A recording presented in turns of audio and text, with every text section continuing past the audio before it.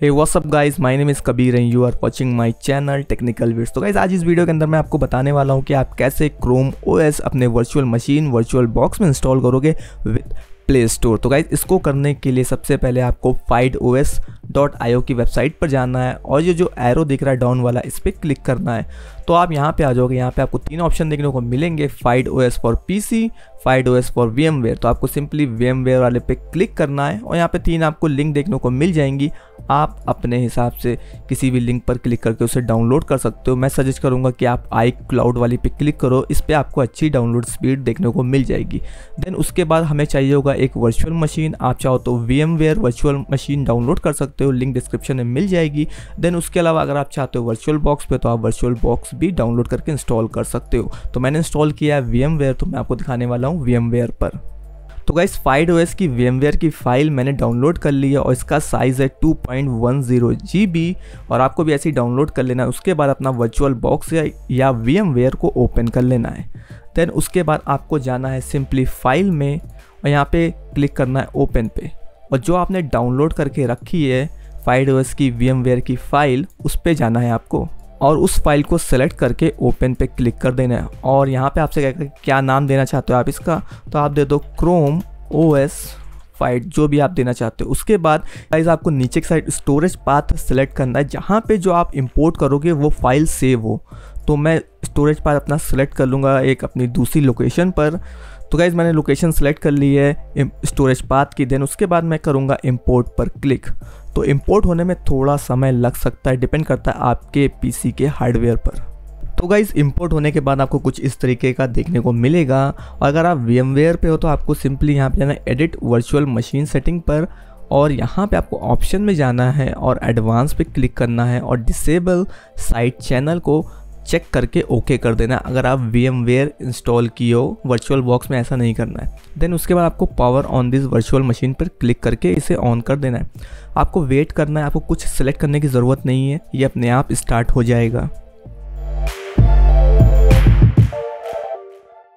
तो गाइज़ उसके बाद आपको यहाँ पे अपनी लैंग्वेज चूज़ कर लेनी है। मुझे मैं सेलेक्ट कर लूँगा इंग्लिश इंडिया देन उसके बाद यहाँ पे मैं ओके पर क्लिक कर दूँगा गेट स्टार्टेड पर क्लिक करूँगा। तो आप देखोगे मेरा इंटरनेट कनेक्टेड है, उसके बाद आपको नेक्स्ट पर क्लिक कर देना है। उसके बाद आपको एक्सेप्ट एंड कंटिन्यू पे क्लिक करना है, फिर एक्सेप्ट एंड कंटिन्यू पे क्लिक करना है।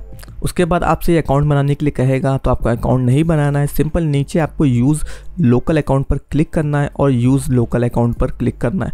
उसके बाद आपको यहाँ पे यूज़र नेम डालना है। ध्यान रखना है, आपको नाम के बीच में स्पेस नहीं रखना है, वरना वर्क नहीं करेगा। तो मैं अपना नाम दे दूँगा सिंपल टेक्निकल और नाम के बीच में आपको कोई भी स्पेस नहीं रखना है। और पासवर्ड में आपको पासवर्ड डाल देना जो भी आप रखना चाहते हो, और नेक्स्ट पर क्लिक कर देना है। यहाँ पे अगर इनके इम्प्रूवमेंट एक्सपीरियंस इम्प्रूवमेंट प्रोग्राम में ज्वाइन होना है तो ऑन रख दे दीजिएगा। अगर नहीं होना है तो ऑफ़ कर दीजिएगा। देन उसके बाद आपको गेट स्टार्टर पर क्लिक करना है।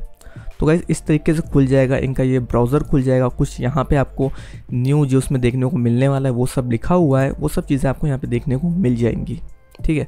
इसको हम कर देंगे कट तो गाइज़ इसमें आपको अभी किसी और चीज़ पर क्लिक नहीं करना है। जैसा मैं कर रहा हूँ सेम वैसे ही आपको फॉलो करना है। सिंपल आपको लॉन्चर पर क्लिक करना है, इस एरो पर क्लिक करना है और यहाँ पे जो एंड्रॉयड लिखा है, इस पर क्लिक करना है और एग्री पे चेक करना है और लॉन्च कर देना है।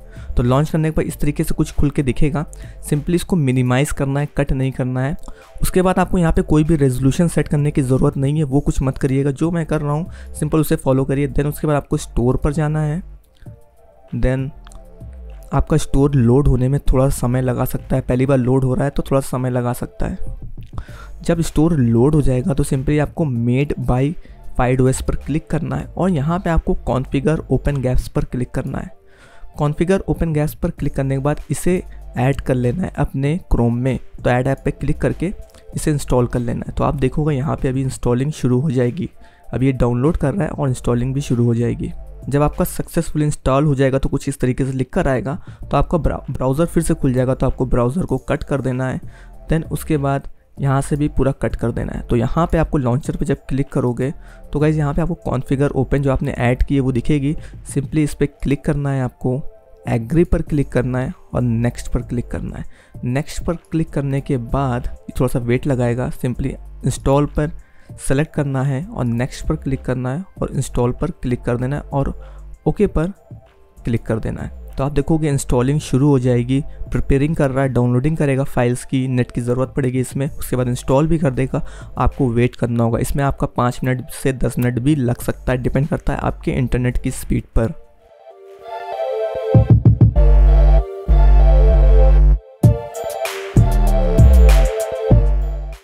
जब आपका पूरा इंस्टॉल हो जाएगा तो यहाँ पे लिखा रहेगा रिबूट लेटर रिबूट नाउ तो सिंपली आपको रिबूट नाउ पे क्लिक करके इसे रिस्टार्ट कर देना है।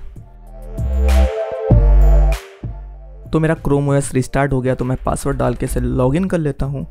तो लॉगिन करने के बाद फिर से ब्राउज़र खुल जाता है बार बार, पता नहीं क्यों। तो ब्राउज़र को कट कर देना है आपको तो लॉन्चर पे आप क्लिक करोगे एरो पे क्लिक करके अप करोगे तो आप देखोगे यहाँ पे आपको प्ले स्टोर देखने को नहीं मिलता है। हम्म। तो आपको थोड़ी देर वेट करना है तो प्ले स्टोर अपने आप लोड हो जाएगा। तो आप देख रहे हो मेरा प्ले स्टोर आ गया है। सिंपली आपको प्ले स्टोर पर क्लिक करना है। प्ले स्टोर में साइन इन कर लेना है।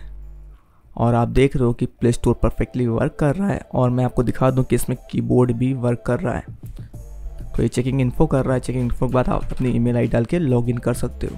लेकिन मैं आपको बता दूँ कि अगर आपको रेजोल्यूशन चेंज करना है तो कैसे करोगे? लॉन्चर पे क्लिक करना है।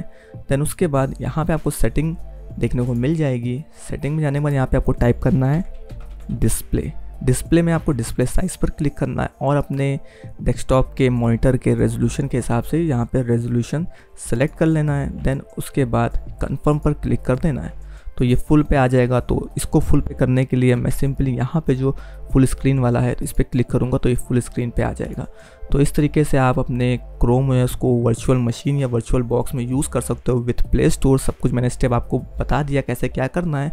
तो इस तरीके से गाइज़ आप कर सकते हो। तो अगर आपको ये वीडियो पसंद आई हो तो आप इसे लाइक कर दीजिएगा शेयर कर दीजिएगा कमेंट कर दीजिएगा। और अगर आप मेरे चैनल पर पहली बार आएँ तो मेरे चैनल को सब्सक्राइब कर लीजिए, क्योंकि मैं ऐसे ही इंटरेस्टिंग वीडियोज़ लाता रहता हूँ। तो आज की इस वीडियो में बस इतना ही। अगली बार फिर मिलते हैं एक नई वीडियो के साथ, एक नए टॉपिक के साथ। जब तक के लिए टेक केयर बाय बाय जय हिंद।